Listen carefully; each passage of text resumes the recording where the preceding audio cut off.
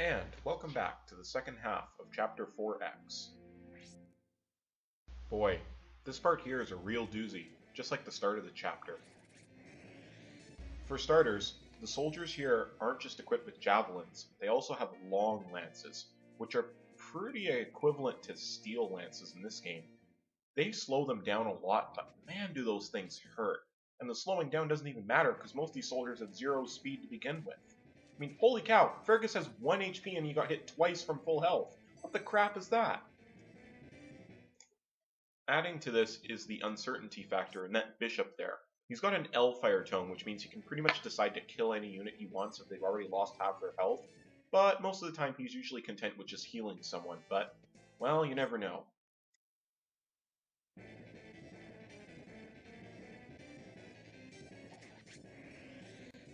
Oh, crap, that guy killed Fergus. I'm gonna have to restart the chapter. Oh. Oh, right. Yeah, enemies don't just capture your units that have no weapons just for the hell of it. They'll also try to just capture your units that they can. And like I stated earlier, that armor now has just stolen every item Fergus had, and if I want him back, I'm gonna have to capture the armor myself. Boy, I this part I was almost I almost hit the reset button instinctively. And then this happened. I thought Seti was almost going to go over and kill the armor, but thankfully Master Seti Dono is an extremely smart individual that really connects with the player, and he instead goes for the dangerous bishop. Although this does mean I don't get his psychic staff, but I'd rather have that happen than have to restart this chapter. So thank you, Master Seti Dono, for the hand there. This will help a lot.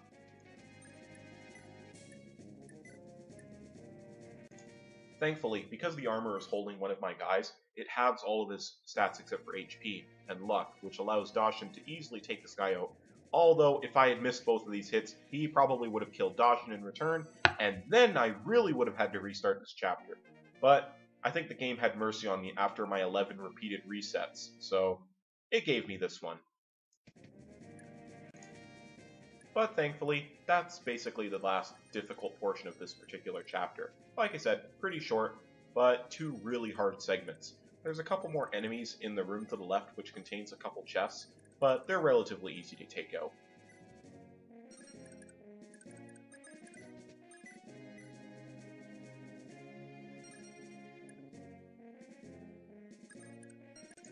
In case you're wondering how I'm trying to take these guys out like a schizophrenic mess, it's because I'm very hesitant to put anyone against the wall on the left because there's a Thunder Mage in the other room and I don't want to have them take a pot shot at me.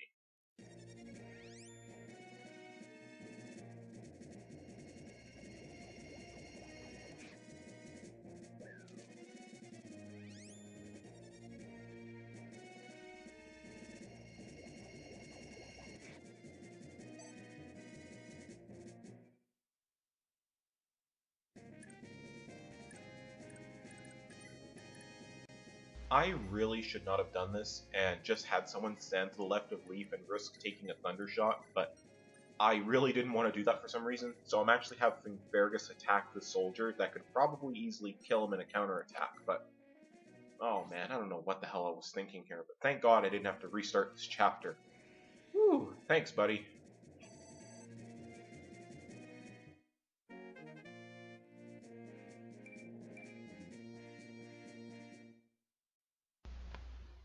I'm leveling up Fergus quite a bit during this part of the game, and to be honest, I re should really stop doing that. I tend to use him more because I value him more than Brighton and I want him to get more stats, but I should really hold off until a couple chapters to really start power leveling him, because then I'll get more Crusader Scrolls and you'll get better stat ups, but I'm really short-sighted when it comes to this game. I don't really plan out in advance, because if you try to plan anything out in this game, it's just going to backfire spectacularly. That's just my experience, of though.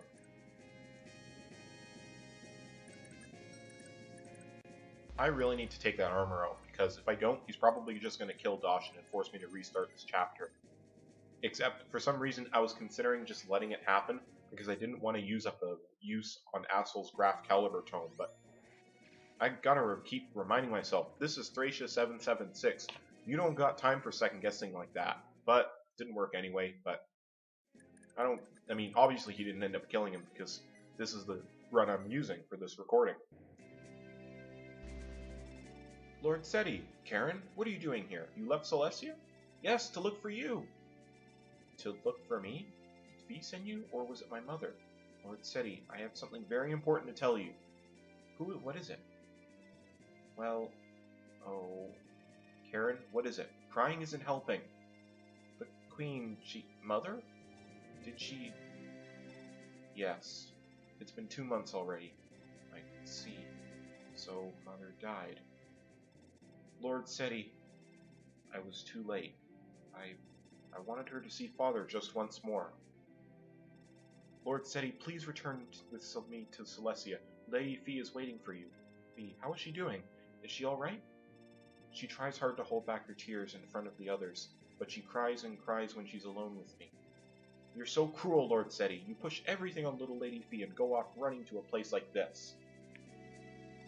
It's natural to be called a hero when you take after Holsety, but you're letting that get to your head, abandoning your mother and sister. And you call yourself the Prince of Celissia. Karen, you're right. But my father was the only one who could cure my mother's illness. Even if I stayed by her side, there was nothing I could do except watch her fade away. That's why I wanted to find my father no matter what. Then what are you doing in Manster? I heard my father was here uh, until half a year ago, but when I arrived he had already left. But after seeing the terrible state of the people here, I just couldn't leave them. I see. Forgive me, Lord Seti, I was harsh. Karen, can you give me a little more time? I'll return to Celestia once I drive Raydrick out of the city. It shouldn't take long. I just need another half a year. Then I shall stay here with you. I appreciate your concern, but I can't fight with you around. I want you to go back to Celestia. Yes, I would just be in the way, wouldn't I? Okay, I shall go back home. Please promise me that you'll come back as well, Lord Seti. Yes, I swear to you that I'll return. Here, I'll give you this as a symbol of our promise. What is this? A rag? That's a national treasure of Celestia. It's an old scroll left by the holy warrior Seti, and it has magical powers. I'm really supposed to give it to my pride, but I'll give it to you for now. I I can't accept such a valuable item. Karen, I'm sorry about my mother. I'm also grateful that you took care of Fie for me. This is a symbol of my gratitude. Please take it. Very well, but I'm only taking it for the time being. I'll be sure to give it back once you return to Celestia. Karen, we'll meet again in Celestia. Take care of yourself until then. You too, Lord Seti. And here we get the Seti Scroll, probably the second or third best Crusader scroll in the game. For the cost of 10% HP growth, the Seti Scroll boosts your magic growth by 10%, but more importantly, your speed growth by a whopping 30%. Damn. This is like the thing that can make Dachshund viable as a unit if you decide to use him past this part of the game. And I usually have him hold it during this part just for the extra speed, although, to be honest, it would probably be better suited going on Brighton or Fergus.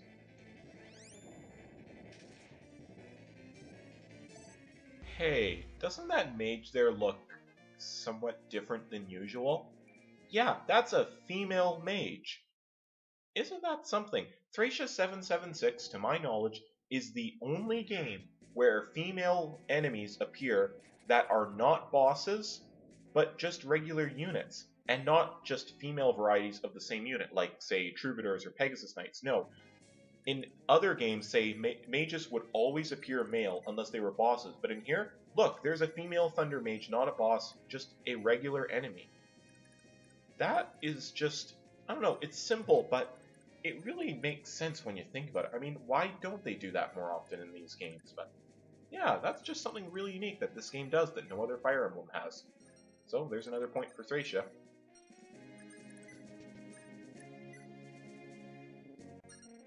Normally, I would just have Lifis steal the Mage's Thunder Tome, but there's another enemy that we can't see in there, and it's an axe armor holding a devil axe. Yeah, regular enemies can hold those in this game. And just like in other Fire Emblem games, Devil Axe is, well, a double-edged axe. no pun intended. It's extremely powerful, but it's also very heavy and inaccurate in this game. But there's a chance based on your luck, if it's too low, that instead of dealing damage to your enemy, it deals damage to you. And in an earlier run on this chapter that I had to restart, the Axe Armor actually pretty much killed himself because he went for a crit on one of my guys and did all the damage to himself and killed himself. In fact, if you search for it on YouTube, there's a funny video of someone attacking a wall in Fire Emblem 7 and they used a devil axe and ended up hitting themselves and killing themselves. Yeah. Watch someone get killed by a wall. It's absolutely hilarious.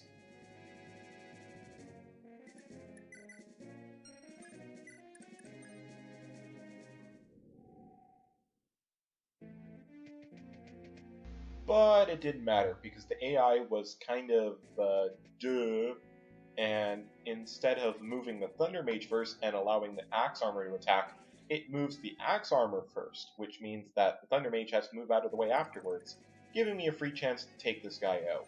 And I really need to. I thought about trying to capture the armor, but to be honest, the Devil Axe boy, you don't need that many things working against you in this game. I don't want that thing anywhere near any of my guys. So I just had Fergus go over there and take him out with the Armor Slayer. I didn't really worry about him counterattacking because I was sure this thing was going to hit and it was going to kill him in one hit anyway. And that's every enemy in this chapter. Eventually, a couple soldier reinforcements will appear near the bottom, but if that does happen, Master Setidono, because he's an omniscient god, immediately knows where they are, and just goes down south and murders the crap out of them. So I'm just going to open all these chests and get out of here. Uh, just to save time, I'll tell you that one of the chests has the Brave Sword, one of them has a Life Ring, and the other has an Iron Claymore, which I will probably never use for about 5 chapters. So I'm just going to speed the rest of this up and get the hell out of here. I'll see you guys next in Chapter 5, and this has been Model Omega, and thank you for watching.